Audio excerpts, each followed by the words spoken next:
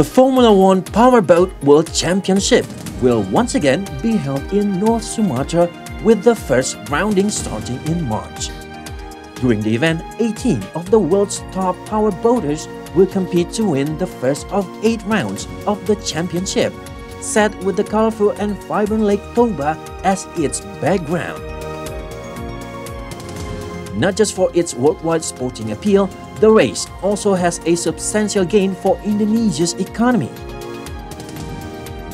According to Coordinating Minister of Maritime and Investment Affairs Luhut Binsar Panjaitan, the F1 Powerboat's inaugural Indonesian event last year created an economic impact of 1.6 trillion rupiah and attracted at least 100,000 visitors to the region.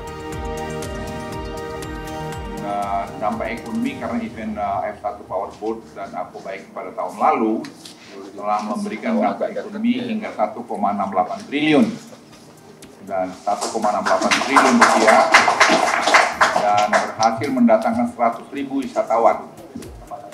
Uh, begitu juga dampak acara bagi daerah, kegiatan-kegiatan internasional juga memperkenalkan destinasi wisata baru kepada turis domestik. The cooperation between the Coordinating Ministry of Maritime Affairs and Investment, the Ministry of Tourism and Creative Economy, the Ministry of State-Owned Enterprises, and the State-Owned Tourism Holding Company InJourney resulted with Indonesia earning the honor of the best host of the F1 Powerboat Championship in 2023.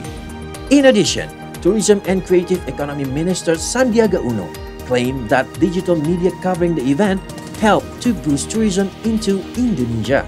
And so, he promised to facilitate constructions for hotels and other facilities to build upon the event's reputation and to ensure the event can sustain in Toba for the future.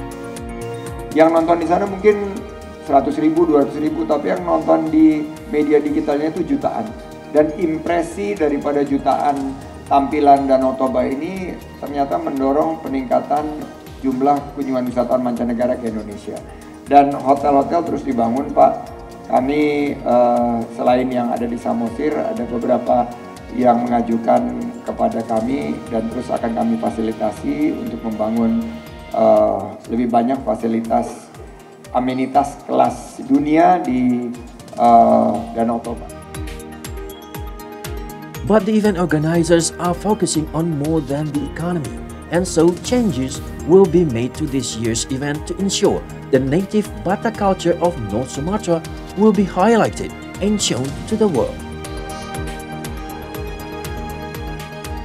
So of course there's a lot of improvements that we need to do every year in order for uh, this event is not only successful but to give economic impact to the people around. So that's what we're doing in terms of infrastructure, facility, accommodation, as well as improving the event itself.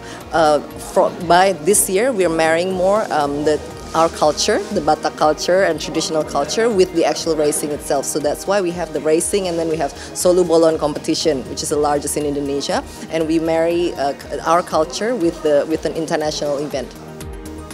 With the changes in the event format and investments into the region, it is hoped that Indonesia will have a new staple event where the country can learn about the world.